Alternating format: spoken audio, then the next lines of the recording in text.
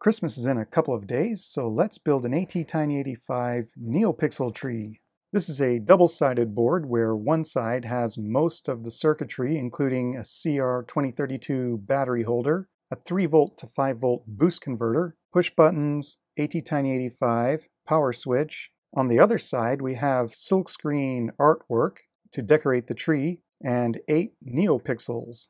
There's a through hole at the top, so we can use one of these pin mechanisms and make it into a badge, or we can put a hook in it and use it as an ornament. One thing I should have done differently is rotate this battery connector 90 degrees because whether I mount it so it's opening to this side or to this side, there's components in the way. So I'm going to have to mount the battery holder off to this side because the tallest part is this inductor and I need room to try and get the battery in. I chose two push button switches that I want to use ultimately, but I don't have them in stock, so I'm going to have to take through hole push buttons and cut the leads and try to mount them on here as best I can. So let's get this built up and see how it works. Today's project video is sponsored by PCBWay. Right now there's a big sale with lots of coupons for December and discounts on these various advanced services and PCB assembly. And if you use coupon code Christmas10, you get a $10 discount for free prototype PCBs at PCBWay.com. Here's the schematic. There's three sections to it.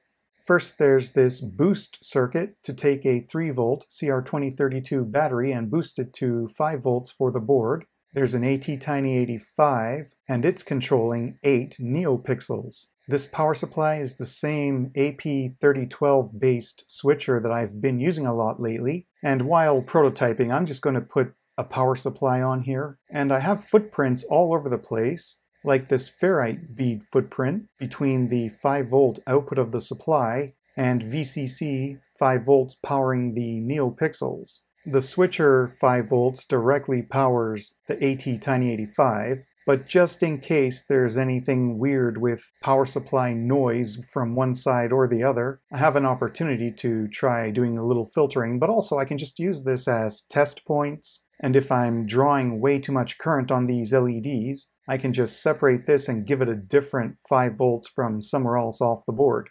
But my intention is to keep the brightness relatively low, so it's okay to power it from this regulator. On the ATtiny, I have this programming pin header right here for the SPI and reset pins so I can do in-system programming. I also have two optional push buttons. I have PWM going to an RC low-pass filter and those go to a header where I can hook up an oscilloscope and I can draw images on the oscilloscope.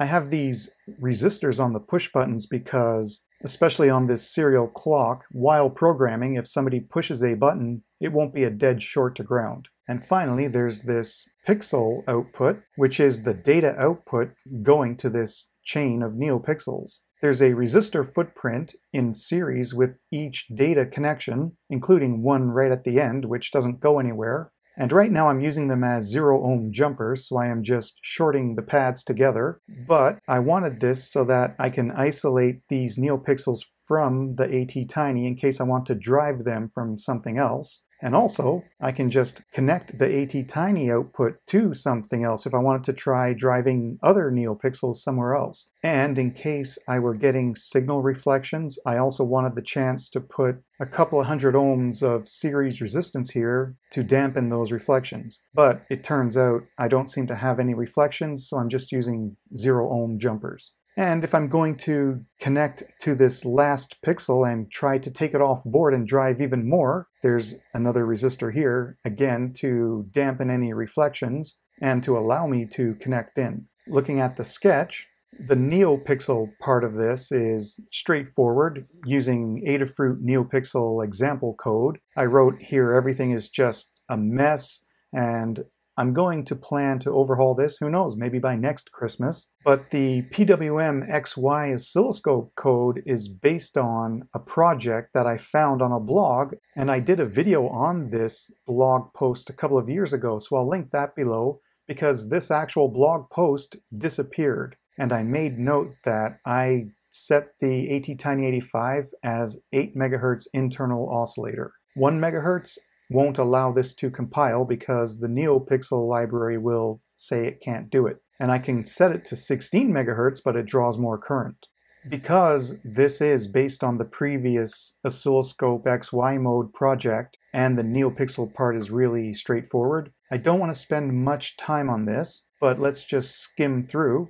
Again, this is really crude, especially the way I'm debouncing the inputs for the buttons and using these weird delays. I was trying to get things to work better, like using interrupts and button debounce properly, but because I'm using these weird timer settings and the oscilloscope XY code is time sensitive, I basically just threw this together and tweaked it till it worked and it was built up slowly, so this is what I ended up with. It's not meant to be an example of great coding. Here's how we draw the image on the oscilloscope screen. There's an array of x and y coordinates, and these are PWM output levels between 0 and 255, which equate to voltages between 0 and 5 volts. So for a given x and y coordinate, if we think of the oscilloscope as graph paper and treat it like an Etch-a-Sketch in XY mode, we set the vertical and horizontal so that it scales between 0 and 5 volts x and y direction,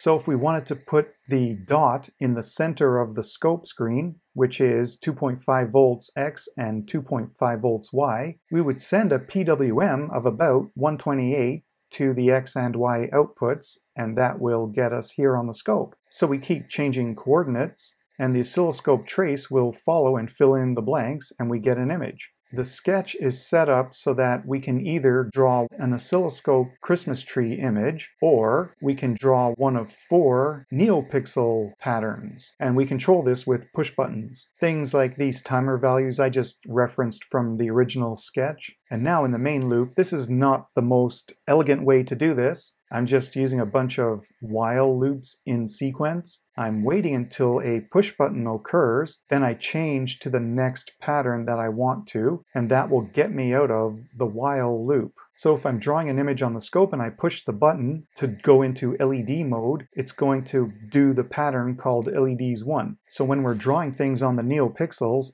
all we're doing is using the Adafruit library to set a pixel color or use the pixel fill command to set all of them the same color. So in this example where I randomly choose a pixel and then I randomly choose a red, green, and blue level, I keep doing that and then I double check the push buttons and see if I want to change to a different mode. Then it will come back and start the loop and choose a different pixel and a different color and check the buttons and so on. For developing the sketch, I have it plugged into the AVR programmer from my previous project and I have scope probes hooked up and an external power supply. Now that it's hooked up to the scope, I can use the push buttons to cycle between the oscilloscope display and the built-in LED patterns.